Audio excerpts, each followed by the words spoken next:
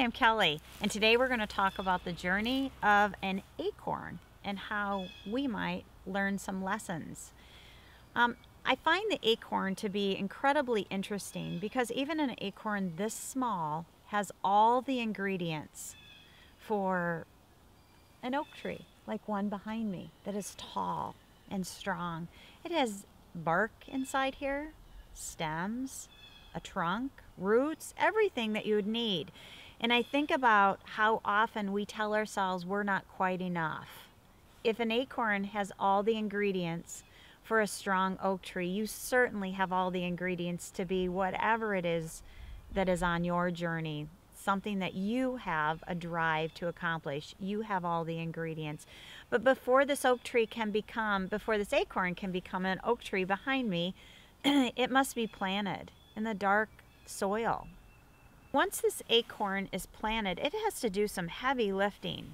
In the in the scary time, the dark times, it has to reach roots out to get the water. The rain doesn't come right to it. It has to reach out and it shoots out several roots to absorb all the water it needs to grow into a fantastic tree.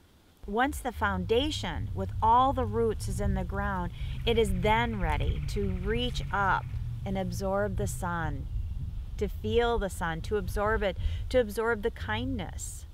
And I think about that who are the people in your world that offer sunshine to you when you most need it, when you're coming up out of that dark place, that you've worked so hard, and then there you are, they are there to support you and guide you. So then this acorn reaches up, absorbs the sun, and creates the branches that will allow the birds to rest on it, the squirrels to play on it. And it does something else that is pretty marvelous. Once the leaves are out, there is a process, photosynthesis, and it absorbs the carbon dioxide and produces oxygen for all of us. Hmm. Marvelous. Out of a dark place, it comes out, absorbs the sun, and then produces branches for birds to rest, squirrels to play, and oxygen for us. I think I'm going to take my journal right now and write about my journey as in comparison to an acorn. Maybe I'm going to write about um, times that I felt afraid and in the dark. Maybe I feel that way now, and I'm going to be kind to myself when I write about this.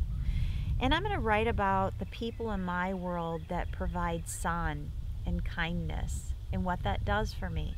And perhaps who do I provide sun to? So I'm going to journal here underneath this oak tree and say namaste to you.